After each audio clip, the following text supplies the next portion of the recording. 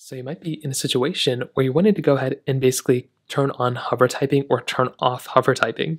Now, as you can see from the screen I did, I just basically turn it on or off. Now, doing this is actually very basic. So what you're going to want to do is you want to make your way over to your settings application, and then you basically want to scroll down until you see accessibility. So click on accessibility right here. Now what you want to do next is you want to go ahead and click on keyboard and typing. So under keyboards and typing, what you're going to want to do next is you want to go and tap into here, and then you want to go and click on this first option that's right up here under hover typing. So go and tap into hover typing right here, and then what you want to do here is you basically just want to go ahead and enable it. So go through and just enable hover typing right there, and now hover typing will be enabled. So now when you go through and you basically use this keyboard, you should be able to use hover typing. So, you know, however you use it, so you can see it looks like this.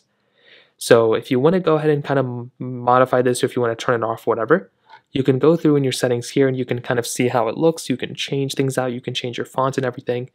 If you want to turn it off, all you're going to have to do here is basically just click on this toggle to basically turn it off. And you can see when you start typing again, you won't really have to run into any issues. It'll just come up as it normally would, and it'll just be your standard typing. So that's basically how to do it. If you have any other thoughts or questions, let me know in the comment section below hit the like button. That'll mean so much, but definitely hit that subscribe button. More importantly than everything else, I love every single one of you guys. Hopefully, I'll catch you guys in the next video.